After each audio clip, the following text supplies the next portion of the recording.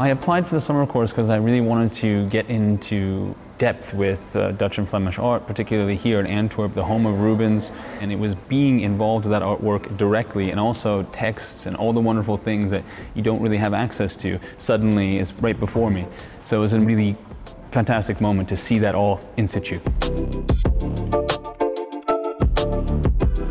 Rubens Summer Course offers students and young art historians the opportunity to really get a, a, look behind the scenes of these beautiful Baroque churches and archives and workshops that aren't really open to the public usually. So this is a really once in a lifetime opportunity to also learn directly from the experts.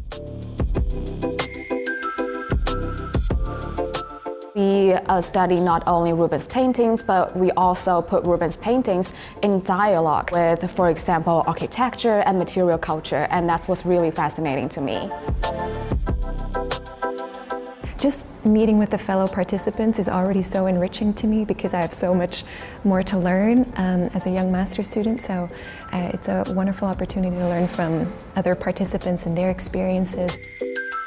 This summer course uh, gives participants the opportunity to talk with specialists in the field, with museum specialists, conservationists, and uh, it's also an occasion to meet professors here in Flanders, in Belgium, to get new insights uh, you wouldn't get only by reading texts.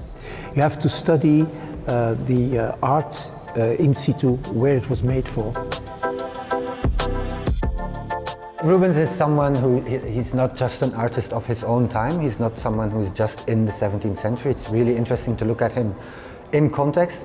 He's relevant again and again to every new generation. There are so many ways to approach his work, to look at it. He is just the type of artist who will always be at the center in a way of, of European culture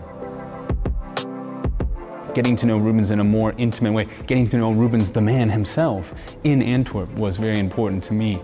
And also having access to texts, to experts, to other experts around who know Rubens in a different way than I know Rubens perhaps, has helped me really expand my own view. I have to say, this is the first time i am truly immersed in, in Flemish culture and I really like it.